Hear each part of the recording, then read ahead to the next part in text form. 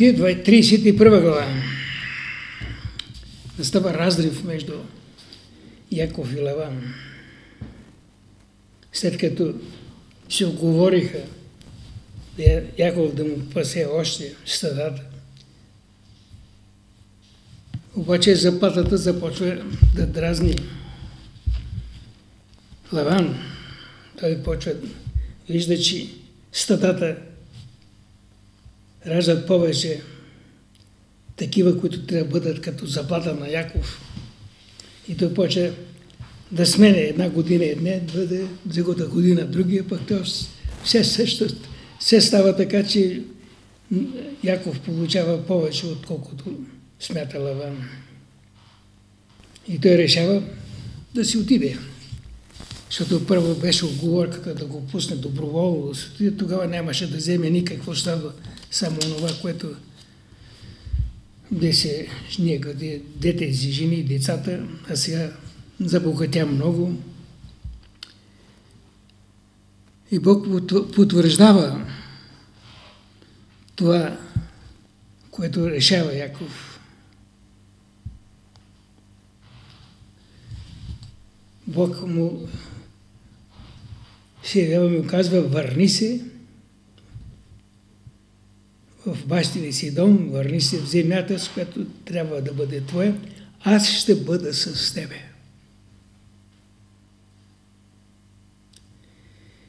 Значи виждаме, че при всички положения Бог се намесва винаги в защита на праведните. Защото Яков обяснява на своите изини, че отношенията с баща им е нарушено, той е намръщен вече, по... слуша онова, което казват неговите синове. Те обвиняват, че Яков открадна, вика, всичко, това, което го има Яков, това от, на, на баща не казва, Яков го взима. Той пояснява това, споделя своето намерение и казва, баща си промени отношението си към мене. Постоянно сменя заплатата ми. Но аз не съм виновен. Бог обаче се смени. Той ми каза какво да правя. И той ми заповеда да се върна. Отивам си от дома. Като обяснява тази ситуация на своите жени, отношението и отговорът на Рахил и Лие те изявява своето негодование. Той ни третира, казва, като стока, продадени. А не само ни продаде, вика ми от това, което взима за нас, той ще го изяде. И затова те се съгласят, прави каквото Бог ти е заповядал. Яков отпътува без да се обади на Лаван. Обаче тук имаме изява от характера на, на Рахил.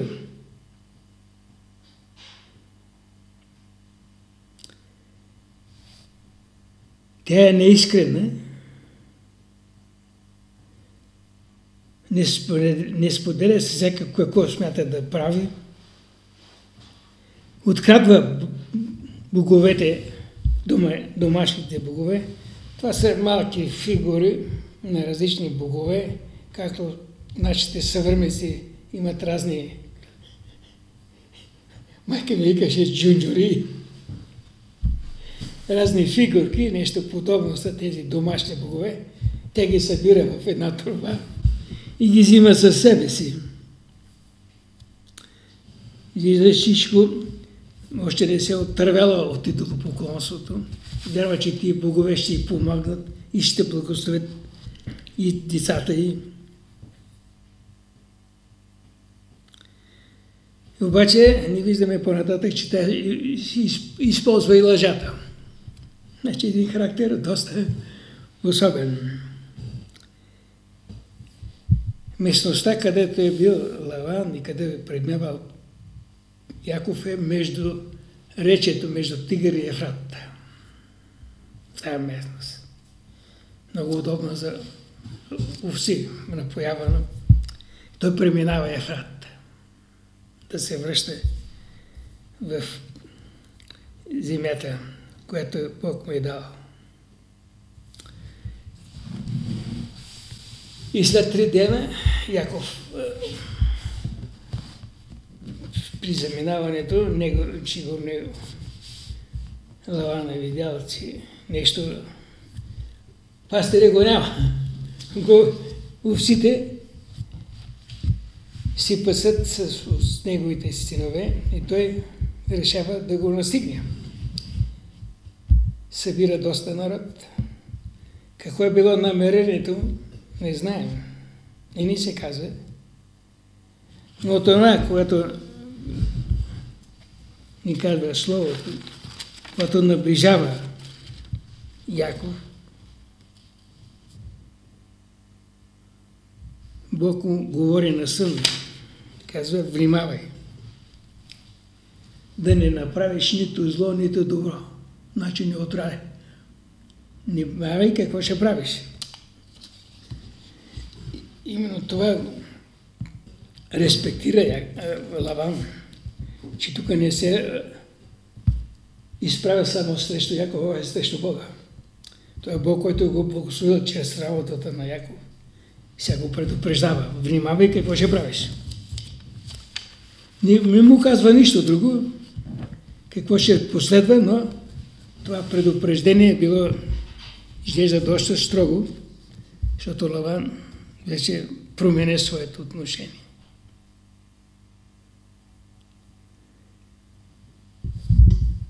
Срещата между двамата става. И Лаван тук прави едно изявление, с което иска да покаже, че може да върши неща. Аз съм вика доста силен и мога да направя всичко. Но защо се измъкна вика скришно? може да те изпратим с музика. Излиза, че той е имал това намерение. Като се гощават музика, пиене, ядене и да вземе всичко това, което е на, на Яков при себе си. Той е чертите на измамиците. Те са и двамата мамят заедно. А ти дори, дори казва, не ми даде да се сбогувам. И си поступил много глупаво.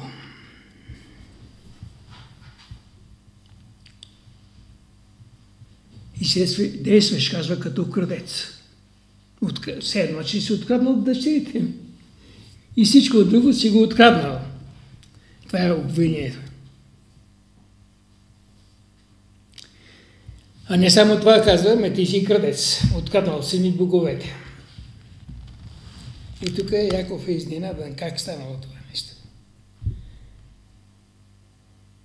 Именно това е изненада и той не знае какво е вършила Рахила. От този вика, когато намериш нещо, да не умре, да, да не бъде жив.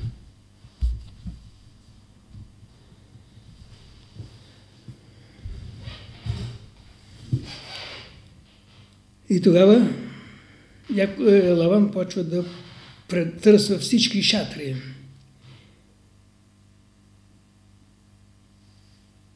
Но стига при шатрата на е, Рахил и тя тук излъгва и баща си. Като се представя, че в следва обикновеното, което е на жените, аз не мога да стана боговете са отдолу под нея.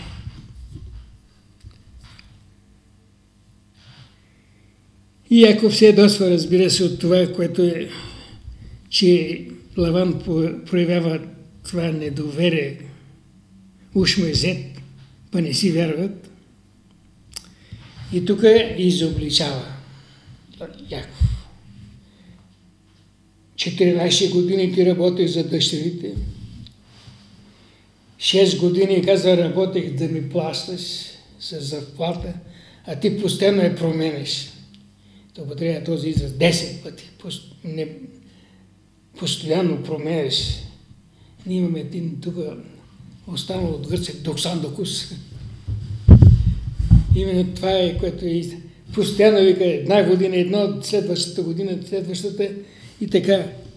Именно тия промени, които прави Лаван, за да може да получава повече приръст на своите стада. Постоянно разменене и казва и сега какво да правим? И тук Лаван реагира па. Тие жени са мои, дъщери Ти нямаш претенции. И децата ми вика мои деца. Те са ги родили. Но понеже вика Бог ме предупреди, да внимавам, дай вика да случиме завет. Сега вече случва договор. Но по нашему казано договор за под, подпомагане и ненападение.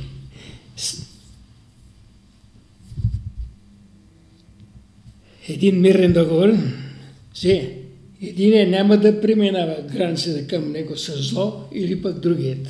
Винаги да бъде.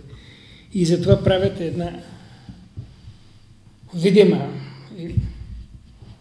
знак, натрупват камъни. И тук трябва да разберем една дума или изрази, които Яков употребява, които са като характерни за семействата в Израиля. Той няма брати. Той е сам. Но какво казва? Заповяда на братята си. Т.е. всички, от които са в неговия дом, са, се третират като братя. Затова трябва да имаме преди това, че като казват Христос, сестрите му и братята му, не са това, което ние имаме родни сестри и братя. Казва точно излишно тук се споменава. Каза на братята си да донесат, да трупат камъни. Като знаем, че Яков си е сам, няма никакви брати. Но това е именно целият дом. Всички слуги, слугини, които са вътре, те са свързани едно като едно семейство.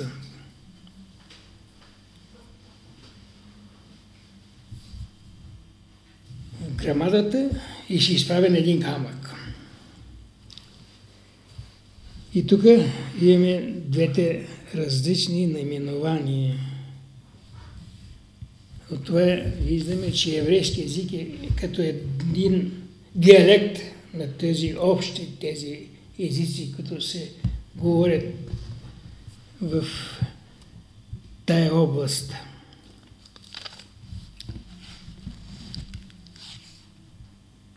Яков го нарича Галат,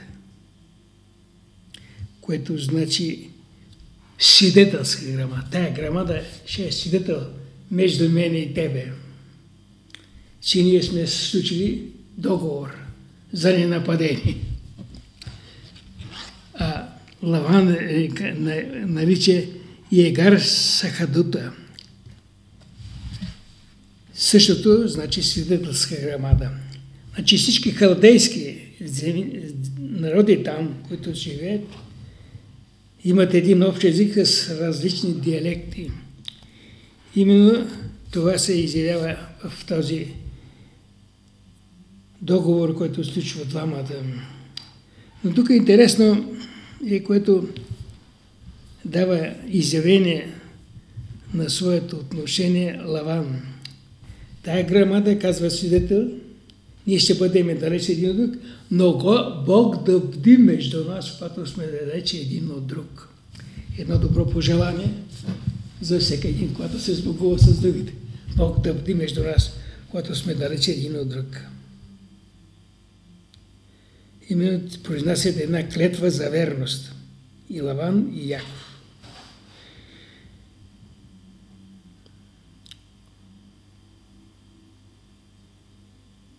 И така, то говорят, че Бог Аврамов, Бог Исаков и Бог Нахоров. Това е пак дядото на Лаван, Нахор, който е брат на Авраам. Значи Бог Аврамов и Есаков, но Бог и, и Нахоров, бащиният ни Бог, да съди между нас двамата. Тук виждаме, че те вече съзнават, че именно той е Бог, който е общ на, на тях, е този, който върши нещата.